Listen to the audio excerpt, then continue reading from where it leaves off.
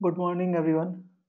Here today we will find out how the PMD will work in our local system for Apex language and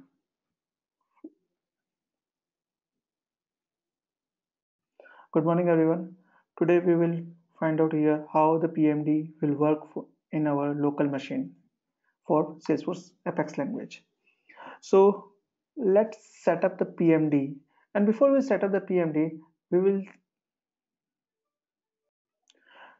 Good morning everyone. Today we will try Good morning everyone. Today we will find out what is PMD, how it will help in our code analyzer as a code analyzer tool and how we set up the P Apex PMD in our local machine using desktop app. So let's check. First we'll go through what is exactly PMD is. So PMD is a static code analyzer tool that is used for automatically detecting of potential bugs and unsafe code. Uh, it examines Apex source code and looks for potential bugs, dead code, complicated expressions, and duplicate code. PMD comes with a uh, lot of configurations and highly configurable set of rules so every developer can quickly set up in their machine. So let's have a look how a PMD can be set up in our local machine using Appirio DX. So first of all, we open Appirio DX, we comes in the tool section and this is a PMD tool. So if it's not installed, then like this, install button will be visible. So as of now, PMD has been installed in my system and it shows a version 6.4.0 so once the pmd get installed it will install in a specific location. So let's check where is it will install.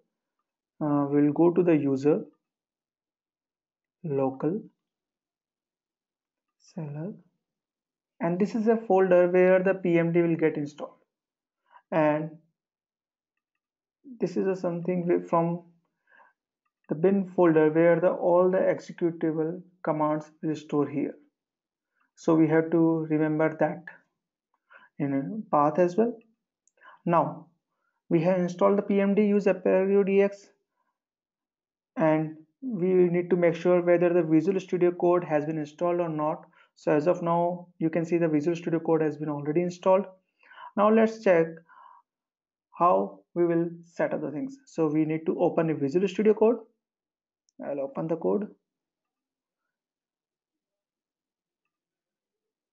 Then I will check whether the extension is already installed or not. So I'll go to the last option extension option and search for Apex PMD okay so it is already installed in my system you can see that one. Now we will set a path. So for that we will use the command palette of Visual Studio Code. So for the shortcut is Control Shift P. Sorry Command Shift P. And we will open the user setting. In the user setting section you can see in the last stage where the apex pmd path so we have set up the path which is already i ask you like till libx we lib executive file we have to set. So that is the path we have set up. Now let's check whether the pmd is working or not. So we'll open any file. So as of now class demo file is there. And this file looks fine. Let's check if I'll make any change in the class demo like I start the class name with the small character and method name is a capital caps letter mm -hmm. lot of if statement is there so I will add another if statement to check whether it will check complexity or not